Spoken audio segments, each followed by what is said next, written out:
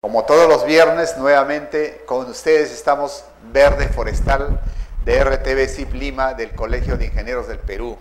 Con muchísimo gusto esta vez queremos traerles una frase, posiblemente la hayan escuchado, muy buena, que dice, recordar es volver a aprender y volver a vivir.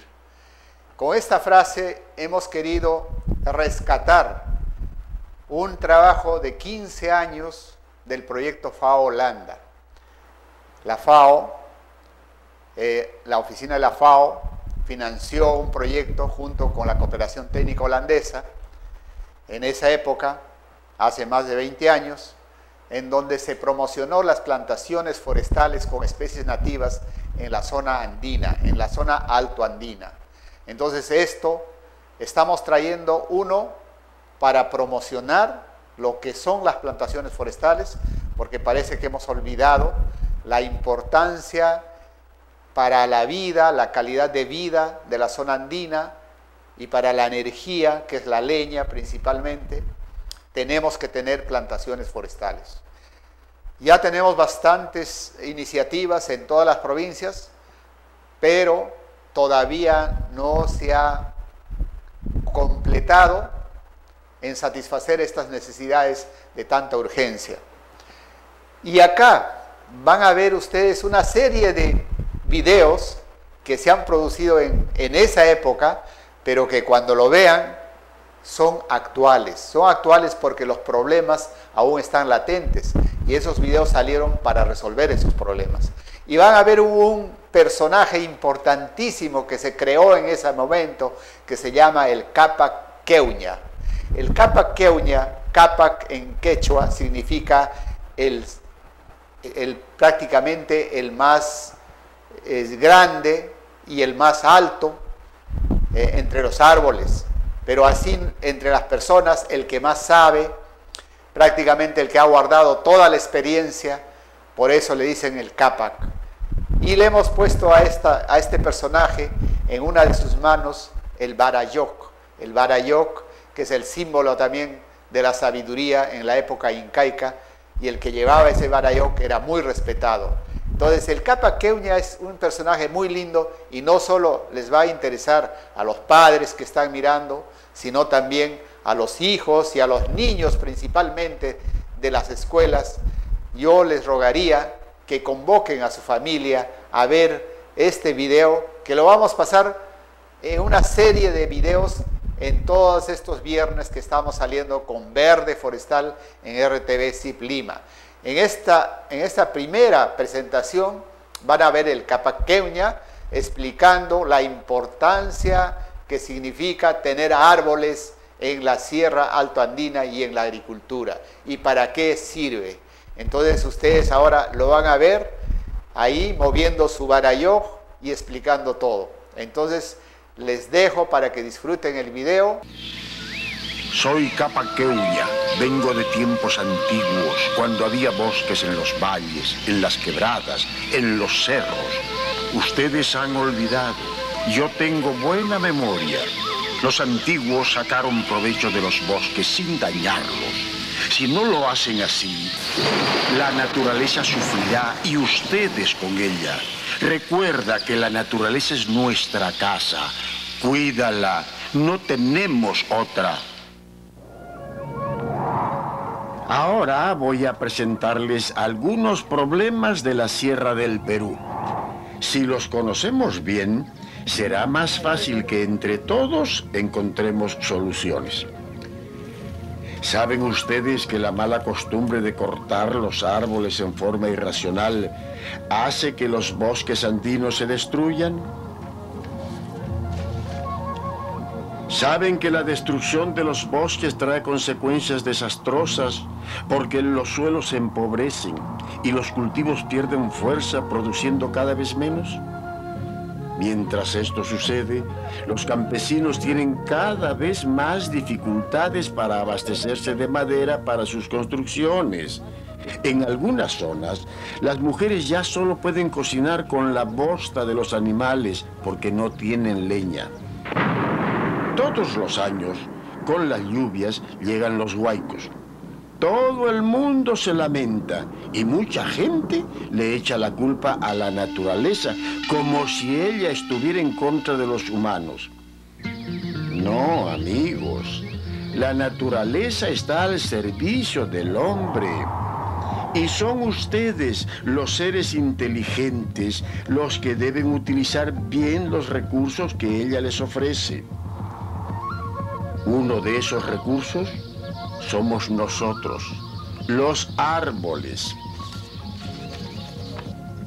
Yo les aseguro que pueden utilizarnos mejor. Por ejemplo, los árboles podemos ayudar a controlar la erosión.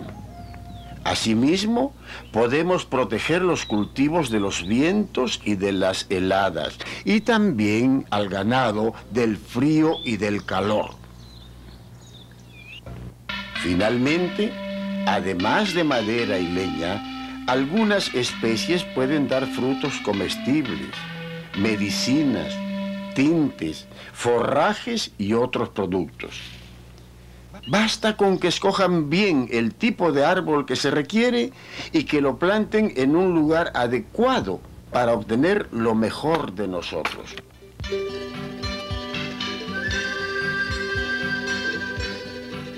Pero no basta con plantar árboles.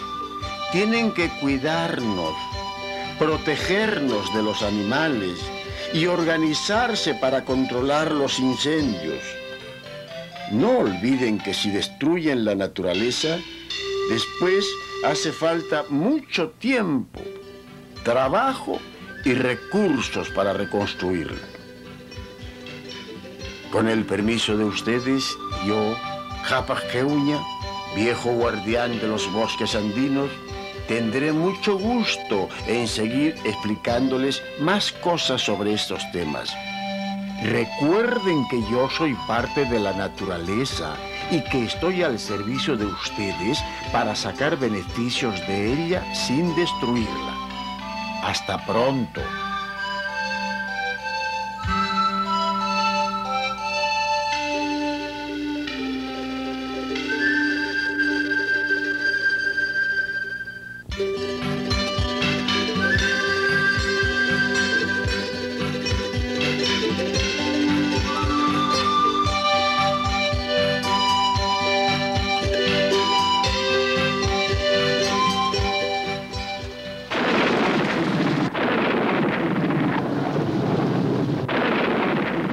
Estimados amigos, hoy quiero hablarles de la erosión, fenómeno natural que tanto daño hace en nuestra sierra. Cuando llueve en los Andes, el agua corre con fuerza por la pendiente y arrastra consigo la tierra de la superficie, que es la más productiva. La erosión aumenta cuando se destruye la cubierta vegetal que protege el suelo de la lluvia.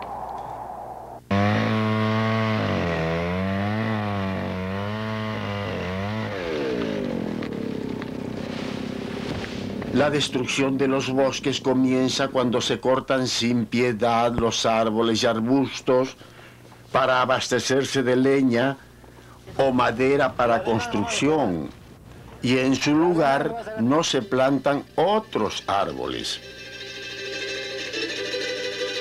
El aumento de animales domésticos que pastan sin control en las laderas significa la muerte de muchos de los pastos y hierbas nativas de los cerros. Y las frecuentes quemas de pastos naturales desnudan al suelo por completo.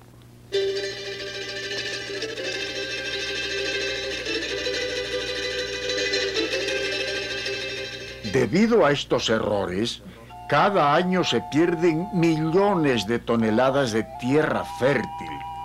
Esto significa una baja de la producción agropecuaria.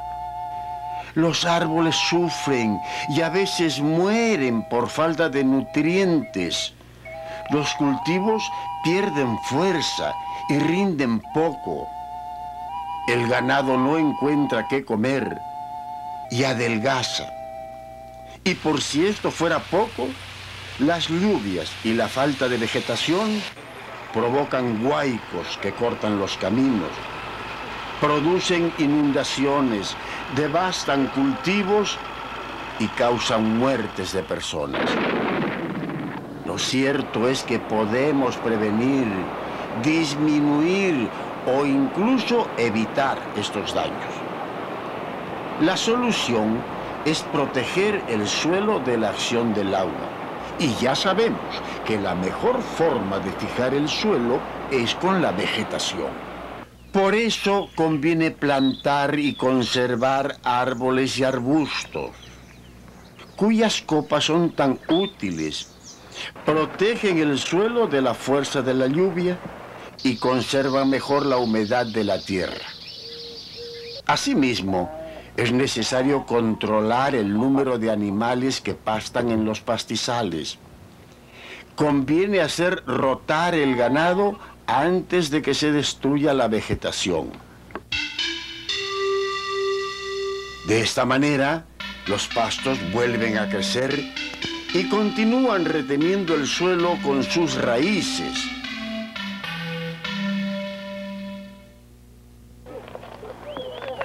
Finalmente, evitando que las quemas agrícolas se extiendan a las laderas, se mantendrán como una manta verde que protege el suelo. Aplicando estas sencillas reglas, contribuiremos a aumentar la producción de la agricultura para beneficio de todos. Aquí vemos cómo la comunidad ha controlado totalmente esta cárcava y a través con muros de contención, ese es control de cárcavas, eh, ayudados al mismo tiempo con la reforestación y ha sido con la participación comunitaria. Capas Queuña te invita a cumplir con tu parte. Solo así todos podemos sacar provecho de la naturaleza y aspirar a un futuro mejor.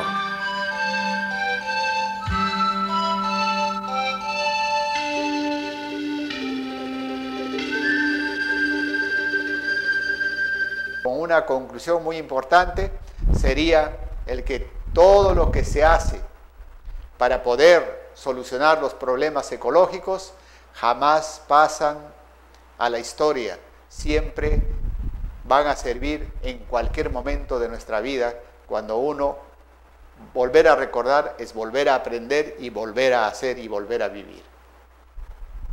Gracias.